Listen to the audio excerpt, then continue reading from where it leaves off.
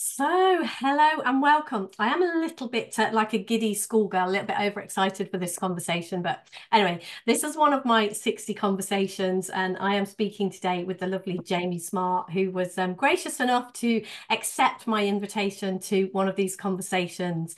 And although he may not know me very well, he has been a huge catalyst in my journey. Jamie was actually the person that I first heard speaking about the principles and had a huge insight, which totally changed my entire life, my family's entire life, everything. So it's not an understatement to you know to, to say you have had a huge impact on me and my family. So thank you very much for that. well, you're so welcome. And that's great to hear because my passion is transformation. Like it's what I'm personally it's what i'm fascinated by it's what i love uh, sharing with other people it's what i love teaching other people how to bring about in their clients lives and in their life, loved ones lives so it's always a huge pleasure to hear how i've played some small part in helping uh, someone wake up to you know the truth of who we are and how our experience is created it's really really wonderful to hear. Yeah. Yeah. So yeah, a, a, huge thank you for that. And you know, the whole YouTube channel and all of this, it's it's all Jamie's fault. If you want to blame it, it's all Jamie's fault. um, so I would really, really love to hear, you know, what's new and fresh for you right now? Because I just think this this conversation, like I can see that was a pivotal moment for me when I heard what you said, and something mm. fundamentally shifted in me. And I have never fully gone back to the person I was before, but equally, you know, I've come a long way in those years. Mm. So, what's new and fresh and showing up for you right now? Well, I'll tell you, I'll I'll tell you, and you may go, Jamie. That's the same stuff you've been saying for. I remember, I remember, uh, I back in 2011, I ran a retreat in St. Lucia. And I was there for, I don't know, a week or something. We had like nine clients, flew out there, and it was absolutely beautiful. And I really got impacted myself just by being there and sharing what I was seeing and listening to Syd and that sort of thing. And when I came back, I was talking to one of my friends and he said, How was it? And I was like, Oh, it's great. I see everything differently. I see it so much more deeply, so much more clearly. He's like, Oh, wow, like what? And I said something and he's like, You've been saying that for years. And I'm like, Okay, okay. so, so you may have that experience, but like what's really, really striking me right now is like I, I, as you know i'm i'm a, a, big fan of Syd banks work. I listen to his recordings regularly. I i most days i transcribe his work and and reflect on it. And i was was listening to uh, one of his recordings called Shawnigan, I think it's called, and uh, in that, he says, uh, you realize there's nothing to do to find your happiness. Just live. Uh, because you are a microscopic part of the whole. And wh- what I heard in that, even more deeply, is it's almost like, and th- this is kind of very personal in how I'm going to describe it. So, this is what it's like for me. What it's like for me is there are two ways of living. And one way of living is kind of what we might call the ego's way or the, the personality's way. And, the, and that comes with its own logic of what you need to do in order to be happy and to achieve. And it comes with its own guidance system and all that sort of stuff. And for all of us, to some extent or another, that's got quite a track record, like it's what we're used to. And then there's this other way of navigating and operating. And it starts from the premise that uh, there's nothing you need to do to find your happiness. It's already there within you. And that goes for happiness, security, peace of mind, well being. Mm-hmm. And that we live in a spiritual world that we live in a spiritual world and that there's a logic and wisdom of that world too. And it's a very different logic. It's a source of guidance and wisdom and and and you can you can you can play by the rules of whichever world you like, but you're not going to get the guidance, the navigation, the the what my dear, dear friends and colleagues and mentors, Chip and Jan Chipman, call the magic carpet ride of uh, kind of surrendering to the truth of who we are and what we've got going for us and allowing ourselves to be guided. So I'm just seeing that more and more and more deeply and seeing that for me anyway, Deborah, in each moment, I've got the opportunity to either go with my old ideas about how the world works and what you need to do in order to get shit done and all that sort of stuff. Or I can go, well, actually, no, I'm I'm gonna start from the premise of there's nothing to do to find your happiness. And so what makes sense now?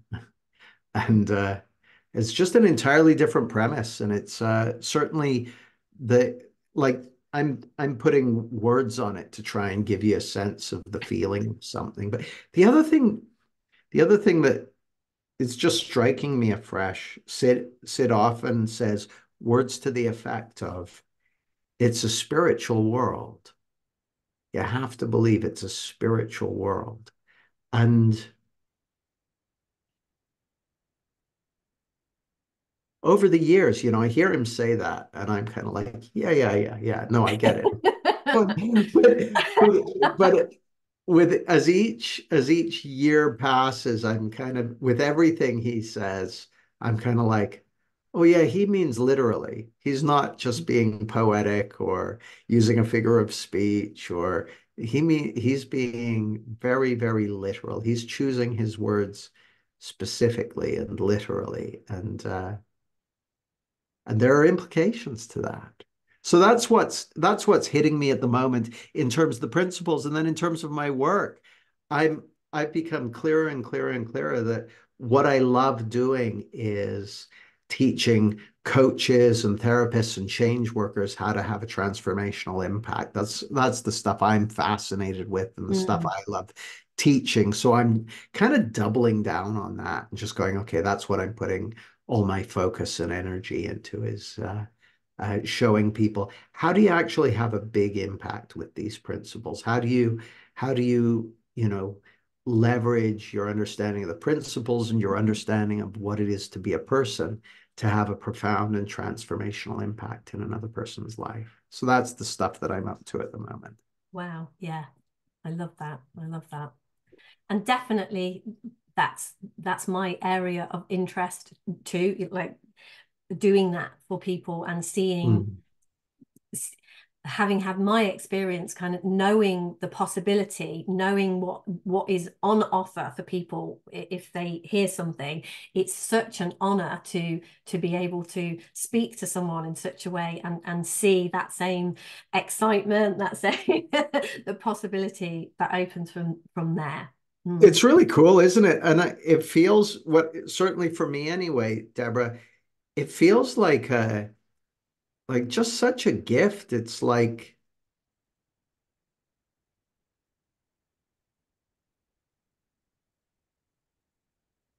it's like I I I've done enough of this work that I know I can rely on it. I know that that capacity for insight and realization is there in everyone. And I, so I know I can rely on it and I know how to kind of steer in that direction, but I never know when it's going to show up or how it's going to show up. And I'm always surprised and delighted. I'm always like, well, the, well, there it is again. Holy moly. I never expected that.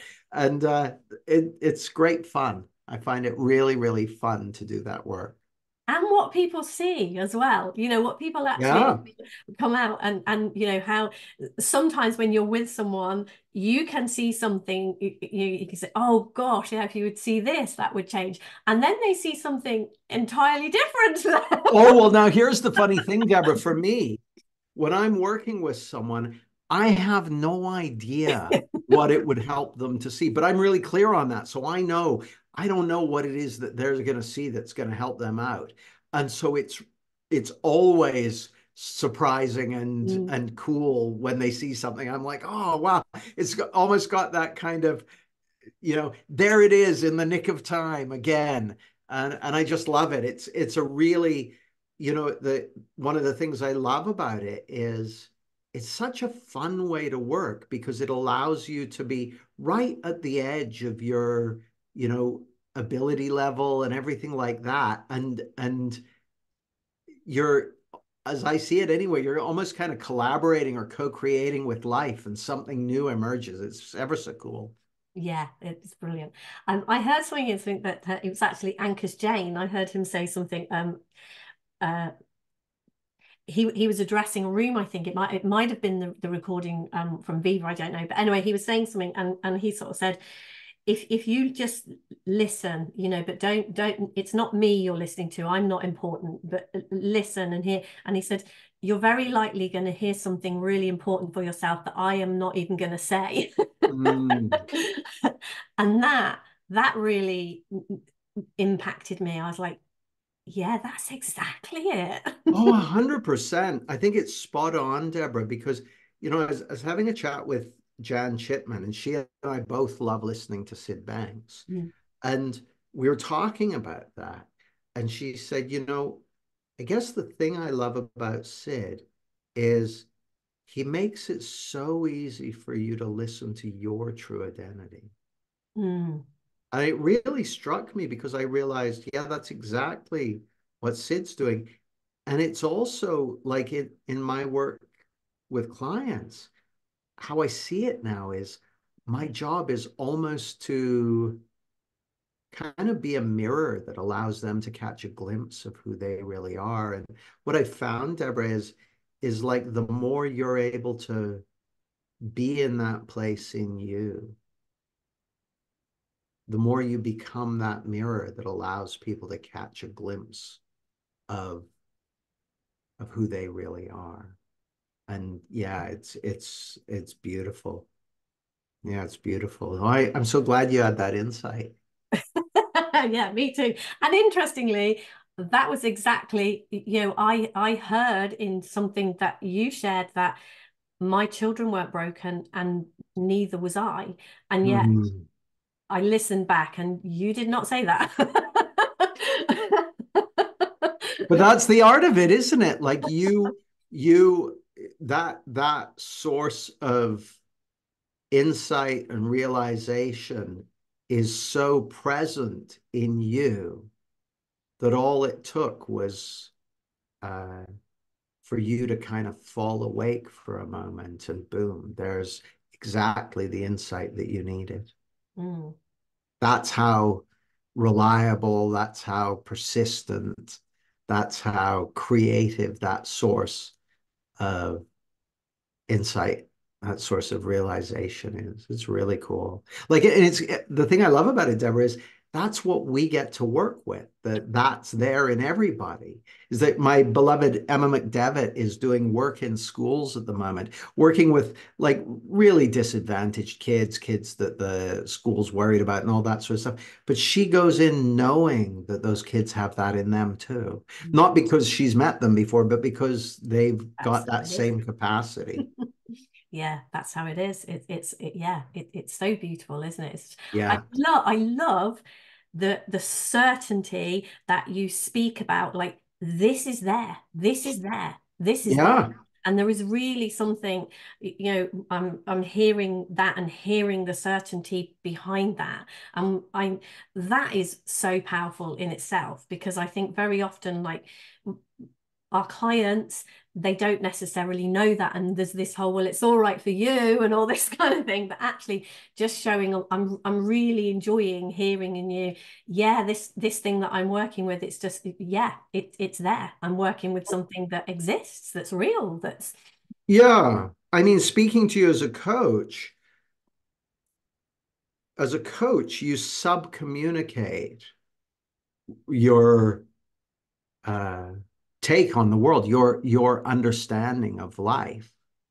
So if you uh, have seen, have you, if you have realized something for yourself about who people are and what they've got going for them, you'll subcommunicate that. You'll let them know. Just like just like if you believe, I don't know, that that people are basically no good, you'll subcommunicate that. So you're you're to me one of the most valuable things uh, a coach, a therapist, a change worker, a teacher can do is get crystal clear on what they what do you know to be true? What have you realized for yourself that you know to be true that you can hang your hat on that you can take to the bank because you're going to sub communicate that whether you mean to or not. So like like it's it's gonna that's gonna gonna show up. It's gonna be in the room. Bingo bingo. So so it it it pays to just get clear on what that is and to to whatever degree you can iron out any wrinkles it's worth it's worth getting the iron out. So uh, yeah because i know after i had had my insight and then i kind of i went home and I, I, literally just went home and I was going to my kids, you're all right, you're all right. And so am I, everything's okay, everything's okay. And I think a few people thought I'd lost my marbles a little bit. And they were kind of like, you do remember everything that's happened, right? You right. do remember what's going on. You do remember, remember this. And it's kind of like, and then I would just get really stuck and be like, yeah, yeah. But everything's okay. And I couldn't, at first, there was kind of no words on that and no way of sort of saying, which was then kind of led me to to find Syd, listen to Syd, follow anything that you were doing that I could find to sort of say, how do I know that? What what yeah. is that? What is it that I know? well, it's so interesting you say that. Like the the the thing I know for sure is that the only thing that's going to make a difference to something someone is something that they realize for themselves from within. Mm. And so that's that as a as a as a coach, as a teacher, that's really helped me out. Like it's really, it's really helped me to know the the best thing I've got going for me as a teacher is knowing what they've got going for them. Like that's that that's like so it's like because all of a sudden there's a ton of stuff that isn't my job to do. Mm.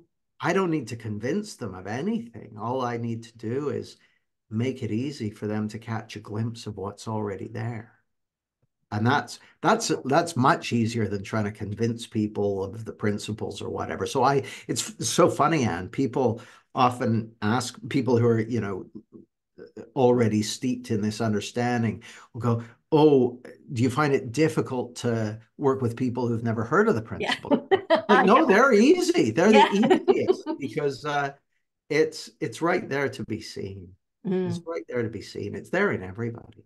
Yeah, that that is such such a beautiful gift to to see that and to know that and to know that and like you say, there's no need then for manipulation or uh, any of that because when when you're in a thing of somebody needs to know something you've got something riding on it. You're you're yeah sure. kind of manipulation going on there. It's kind of... yeah it's been it's been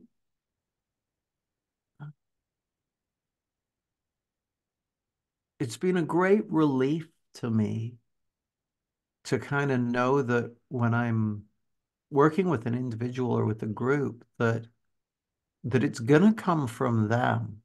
And it's a, a, great relief to me for me to know that i i don't need to know what they need to see. Like i don't know mm. what they need to see. In fact deborah when people have those world shaking insights I'm almost always left with the uh, the sense that I, I would never have thought yeah. that for them, but I'm glad they got it. Yeah. Like yeah. so so it like to me that's part of the beauty of insight is that it's it's uh it's context sensitive. It's really, it arrives in a way that's fully dialed into who they are and what they've got going on and what's important to them and all that stuff. And and so it's like for me, it's like the difference between uh, well, it's not like the difference between anything. It's just the most, it's just the most like every time I experience it for myself in in my own life, it's the most wonderful gift. I'm like, oh God, yeah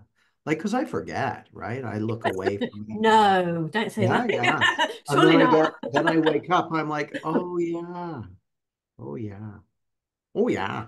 That's good. hits you again. I love it every time it, it hits you again. you yeah. See, see that. it's so fresh. It's so it's fresh and it's surprising and it's a relief. For me, it's a relief because my other way of looking at the world is hard work it looks really real. Mm. So uh, it's a relief. It's like, oh yeah.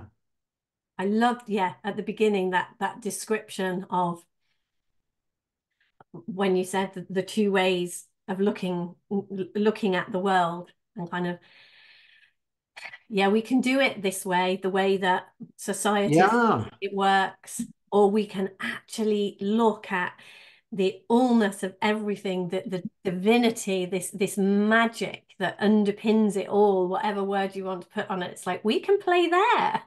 yeah, I love it. You know, and it's funny, there's a there's a recording by Syd Banks that I love called Mind and Insecurity.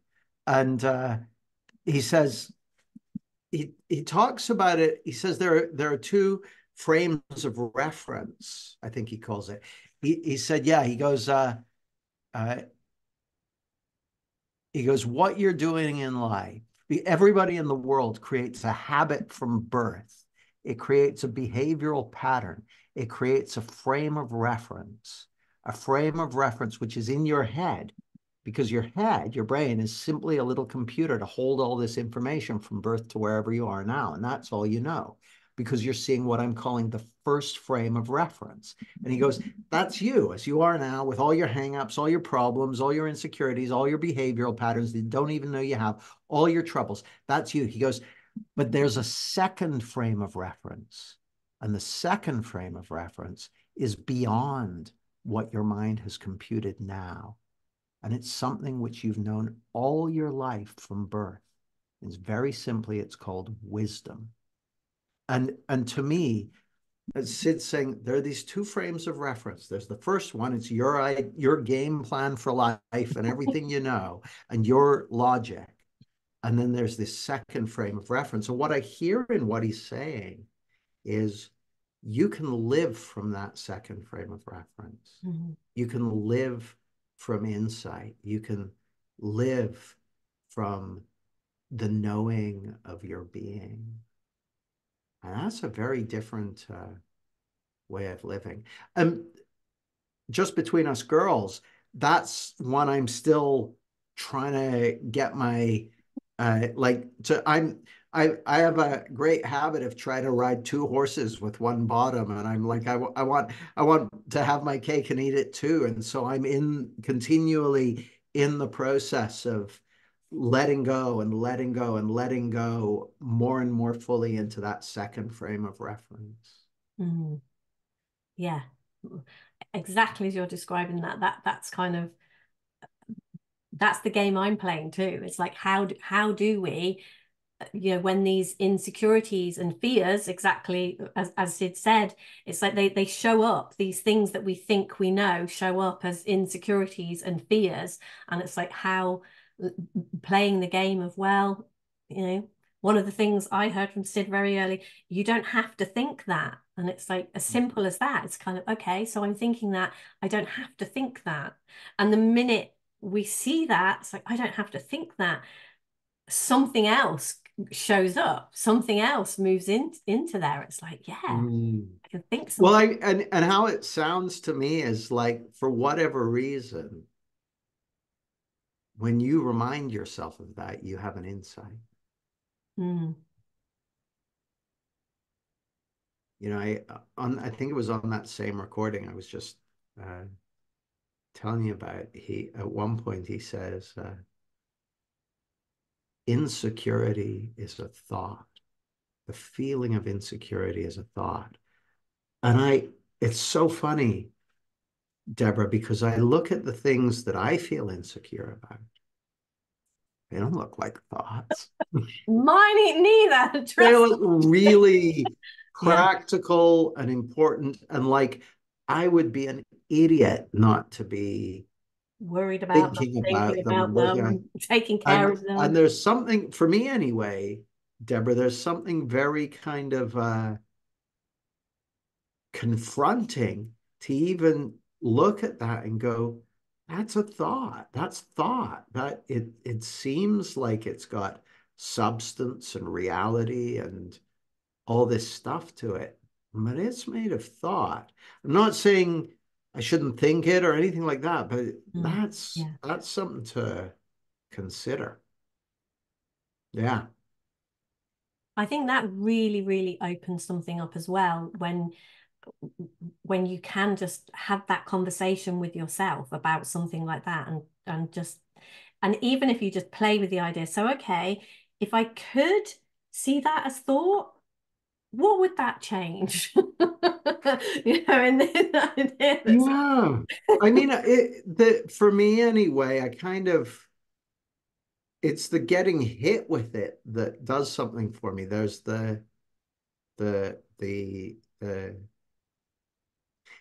for me, Deborah, the only thing that ever really seems to help me out is insight. So I don't I don't even play with it very play with thoughts very much. I'm just like ready to be kind of uh, hit with the straight like because to me i don't when i'm talking about thought i'm not talking about thinking and thoughts. I'm not i'm and like when he says it's thought it, it, what i hear is this is the infinite creative power the infinite spiritual power behind life that you're using to create your perceptual reality right now. And it looks real and it sounds real and it feels real. But it's actually a spiritual power that's being created from within and projected outward. And I'm like, whoa. Doesn't look like that. It looks like a scary thing in the future. it's like, whoa. Yeah, I like getting hit with it.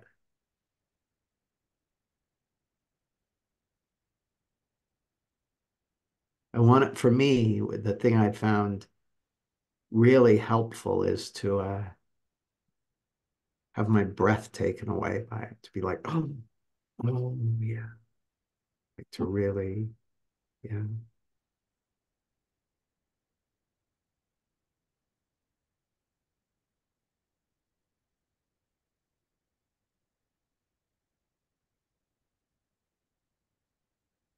Another thing he said in that same recording, he says right at the beginning of it, if I'm remembering correctly, he says, uh,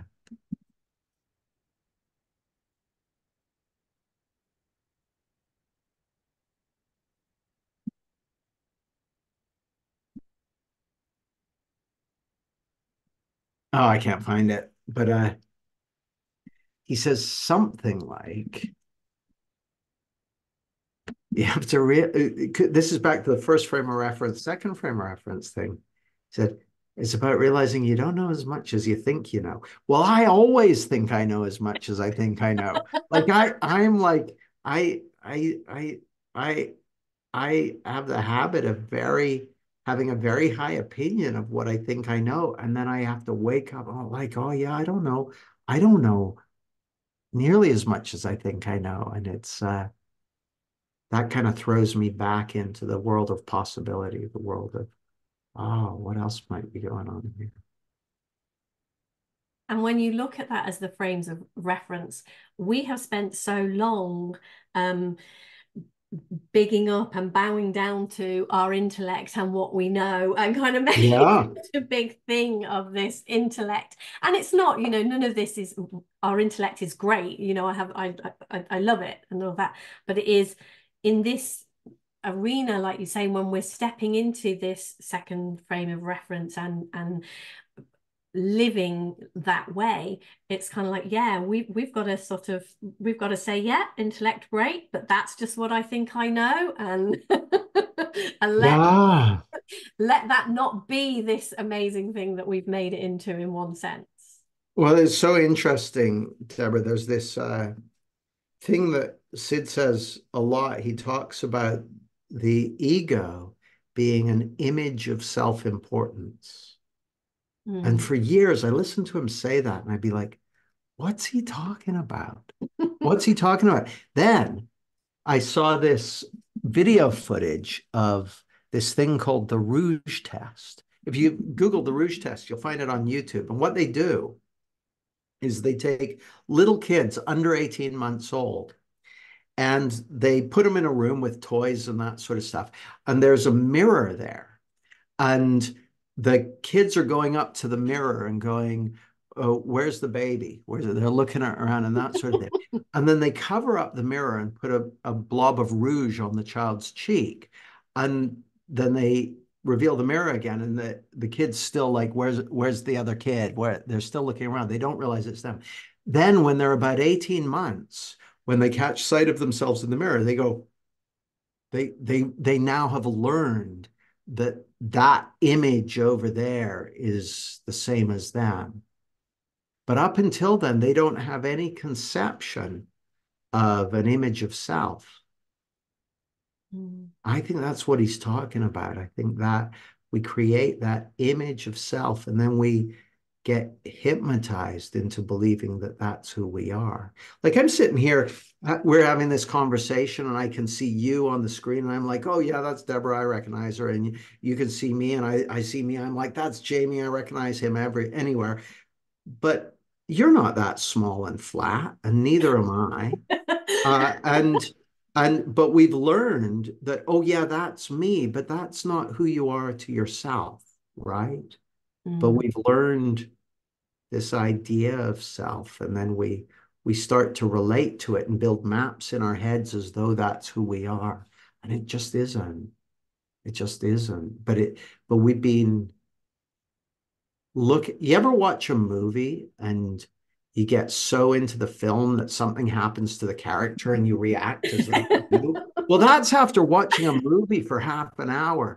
What do you think happens when you're watching the movie for 20 30 40 years? You just you you think it's you and it's not. That's not you. That's an image.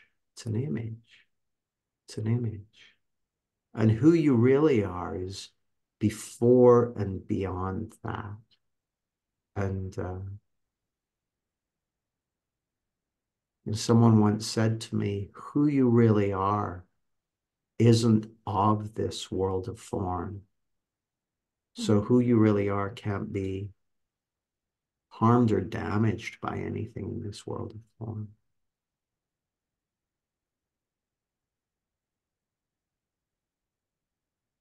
It really did something for me to hear that, you know.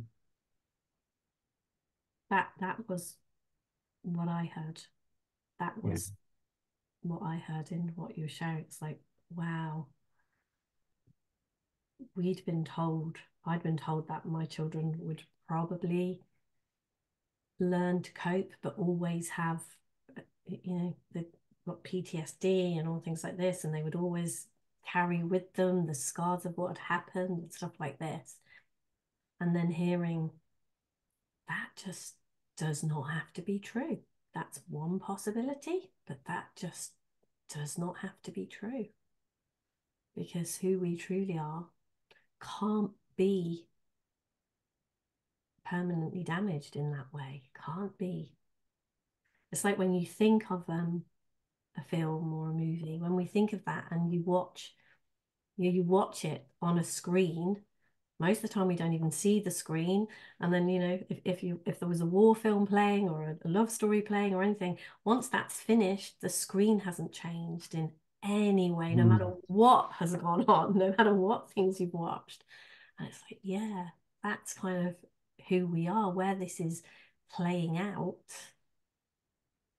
that can't be damaged or changed or nothing happens to that. And I would love everyone to know that. I would love everyone to have a, a felt experience of mm. that. Yeah. I, I I know you know I I heard you say many many times you know kind of your mission was to get out and to the best of your ability to do that um how is how does that feel to you now? And how does that feel like you know? Well it's funny you know. So when i first stumbled across these principles it was like psychology's best kept secret. Mm. and uh I remember I was at a conference in 2010 in Florida, and everyone was saying how difficult it was to get people interested in this stuff. And I was kind of like, hold my beer, hang on a second. And and uh, I kind of made it my mission to raise awareness of this understanding. And then maybe five years later, I was at a motorway services in the UK. And in the top 10 nonfiction uh, books were my book, Clarity, Chantal Burns' book, Instant Motivation, and Michael Neill's book, uh, Inside Out Revolution. So three principles books in the top 10. Wow. And I was like, oh, okay, phase one is done. done phase one. And and like if you if you look around now, I mean, in terms of mainstream psychology, it's made hardly a dent, but that's always kind of the last thing to catch up. Uh, awareness and understanding of the principles is reaching more and more people. The internet's making that possible. And I, I, uh, yeah, I mean, it's also been a journey for me, kind of uh, discovering my own learning journey with the principles, but also my learn my own journey of kind of uh, having my uh, uh, more uh, egregious personality traits ironed out to some degree and that sort of thing. So I kind of I can look back and go, okay, here are the things I would have done differently and that sort of thing. But I, I feel very, very, you know,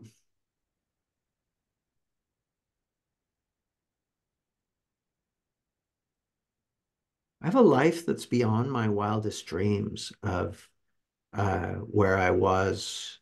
Uh, if I go back to um, the life I was living in like the 1990s and stuff, where it was, you know, drinking and, uh, you know, uh, corporate jobs and all that sort of stuff. And now it's whatever it is, like, so what's that, 26 years later, 27 years later?